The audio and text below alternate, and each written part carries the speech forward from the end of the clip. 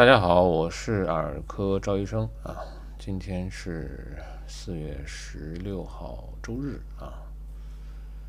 呃，弄这个视频的时候，正好看到新闻，咱们的这个神舟宇航员啊，这个顺利的乘坐返回舱落地了啊。三位英雄的宇航员，可喜可贺啊。呃，这是好事，但是呢，咱们的这个疫情啊，始终是，哎呀，真是头疼。嗯，有喜有忧吧，这个生活可能就是这样。嗯，咱们今天的视频内容啊，上一次那个小朋友啊，两个耳朵的小朋友，他的另外一边呃，刚才如果可能。有眼尖的朋友已经看到了，他这个左侧啊，开始也有明显被棉签捅过的痕迹啊。小朋友是去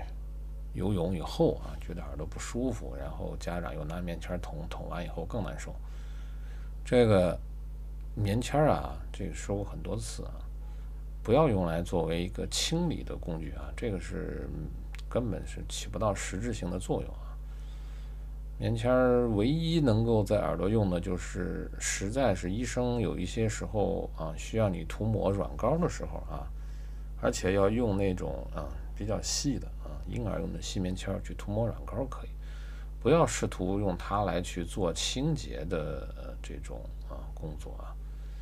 清理啊打扫这个是一个是没什么实质效果，第二个反而可能会更糟。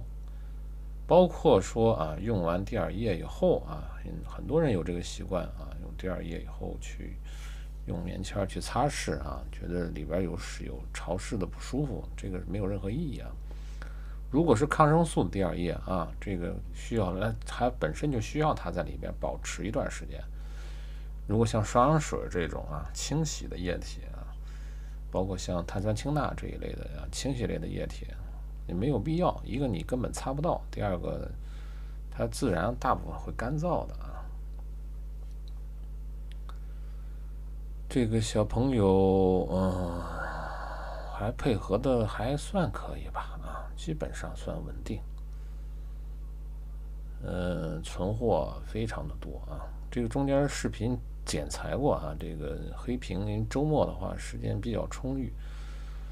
嗯，把这个黑屏去掉了一部分啊，因为之前很多朋友在底下留言啊，说他要求去这个黑屏，因为这个我对这个视频剪辑啊是门外汉啊，只只会用一些最基本的剪辑的一些功能啊，这个去是去这个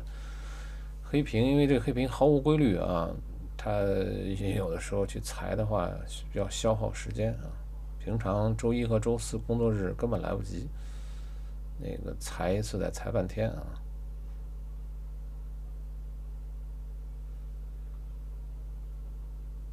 棉签儿被怼过以后啊，更加的结实啊，分外的瓷实，一层一层啊，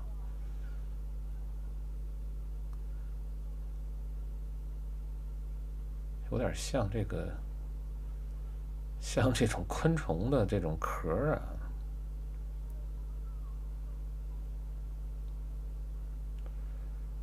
这里边这个还比较干，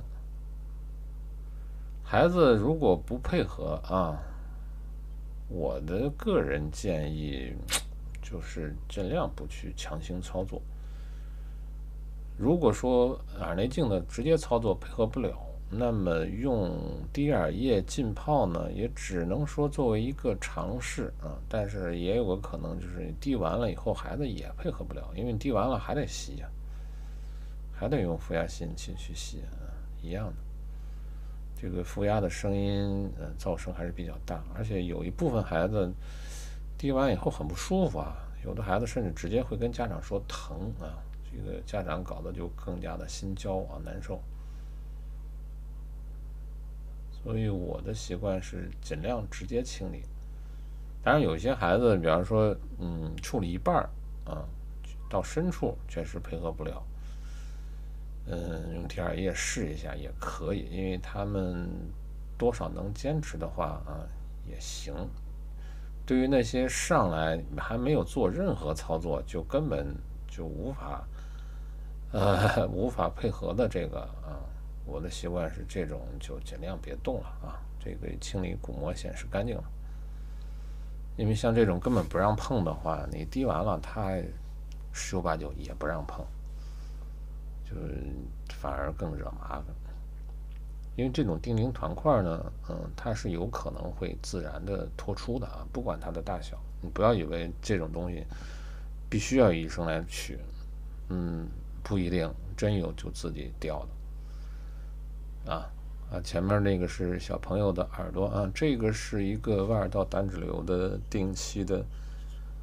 呃，一年一次的啊。这些年已经有一些病人有这种啊意识啊，我反复说过的这个事儿啊，有一些就会定期来。但是我印象当中最早的啊，有一个在全麻下清理过的一个病例啊。嗯，因为他的职业比较特殊，所以我为什么能记住他？嗯，来过一次，好像就来过一次，后来这两年就再没见到了。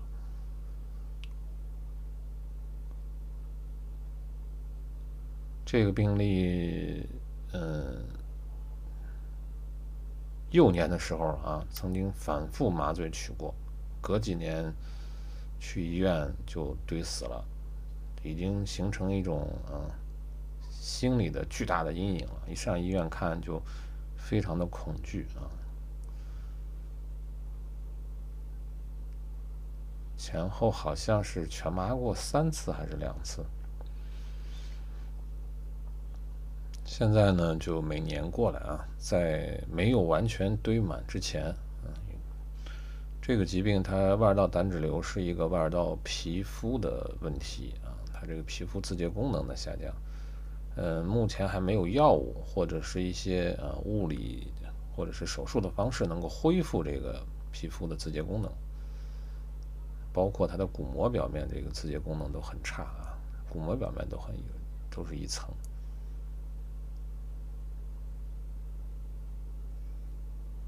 所以它这个皮肤上的新陈代谢产物啊，无法自然脱出，必须要靠手工去清理啊。这种叫外耳道胆脂瘤，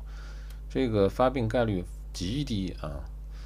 人群当中应该是在千分之一以下啊，远远要低于这个呃其他的一些儿科常见疾病啊。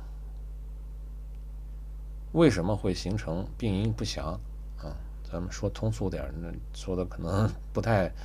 不太科学一点的就属于命啊，那赶上了，这个也没有办法，这个没有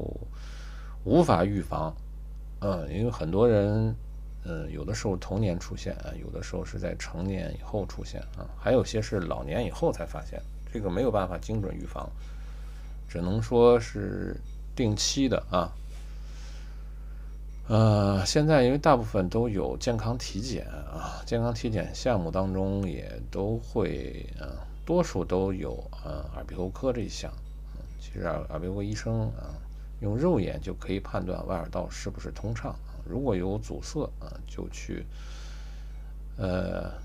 相应的啊耳鼻喉科的门诊。因为体检那个呃环境那个场所是没有办法去给你做这些清理工作的。这个人是双耳啊，刚才清理他的右侧，这个现在是他的左侧。所以每年一次的体检就足够了啊，倒犯不上说，呃，看完视频，因为很多人看完视频有点害怕，这个东西确实他自己平时也没什么感觉。像这种呃中间还完全是空心的啊，只是边上有一层的这种，根本就没有任何感觉。即便就是呃呃完全堆满的，完全堵死的，很多人因为它是日积月累嘛。很多人到后到完全堆满的时候也没有特别的感觉啊，有的人甚至已经发现了啊，自己掏耳朵的时候已经发现了有有东西堵啊，但是去过医院以后一弄特别疼就害怕了，就没再敢处理啊，结果就放的时间很长，直到最后啊，有的时候它因为外耳道胆脂瘤它是一个会逐渐发展啊，它跟丁丁栓塞是完全不一样。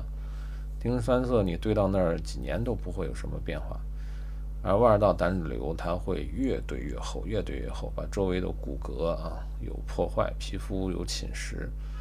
甚至会直接把外耳道后壁的骨头啊直接突破掉。所以后期会出现啊，发展到一定阶段出现疼痛啊，这个时候才会意识到这个问题。而且这个病最损的地方就是早期会被当做丁宁栓塞啊，采用点药软化啊，极其痛苦而无用的一个操作过程啊。所以目前最好的办法就是早期发现，早期处理。确定以后啊，以后定期的维护啊，就像现在这样，因为它中间是空的嘛，压力小啊，操作起来也比较的简单一点。好，今天的视频到这儿结束了啊，再次祝贺我们的英雄航天员啊平安归来啊！另外，希望咱们国家的疫情啊能够早日的平稳啊！谢谢大家收看，我们下周再见。